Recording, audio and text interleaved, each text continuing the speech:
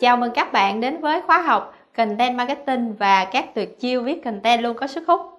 Khóa học này sẽ mang đến cho bạn một bức chân dung tổng thể về content marketing và nghề làm content marketing, giúp cho bạn có cái nhìn sâu sát và từ đó chọn được đầu việc content marketing nào phù hợp nhất cho chính mình. À, thứ hai sẽ giúp cho bạn có tư duy đúng khi muốn theo nghề content marketing hoặc là phát triển công việc với content marketing.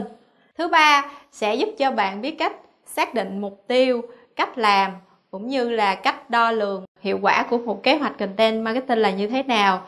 Và thứ tư cuối cùng là sẽ giúp bạn khám phá ra các công thức viết content đơn giản, hiệu quả nhưng luôn có sức hút.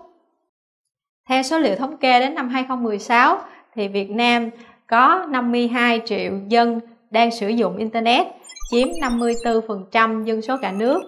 Việt Nam là quốc gia đứng thứ năm tại khu vực châu Á Thái Bình Dương về tỷ lệ người sử dụng Internet, đứng sau Trung Quốc, Ấn Độ, Nhật Bản và Indonesia, trong đó 70% người dùng Internet thường lên mạng tìm kiếm thông tin trước khi quyết định mua sắm. Theo dự đoán, đến năm 2020 thì Việt Nam sẽ có 80% dân số sử dụng điện thoại di động.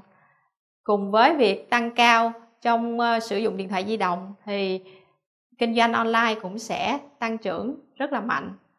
Khi kinh doanh online phát triển mạnh, kéo theo nhu cầu về nhân sự làm content marketing cũng ngày một tăng cao. Vì content marketing là một phương pháp marketing cực kỳ hiệu quả đang được các doanh nghiệp và các cá nhân kinh doanh online quan tâm và áp dụng để ờ, tăng lượng khách hàng tiềm năng, tăng lượng khách hàng trung thành nhưng không tốn quá nhiều chi phí cho quảng cáo.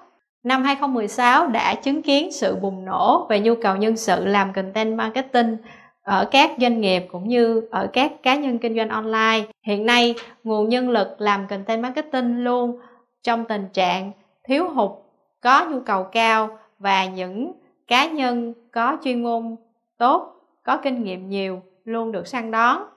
Do đó, tôi xin chúc mừng các bạn đã và đang lựa chọn content marketing là con đường phát triển sự nghiệp của mình.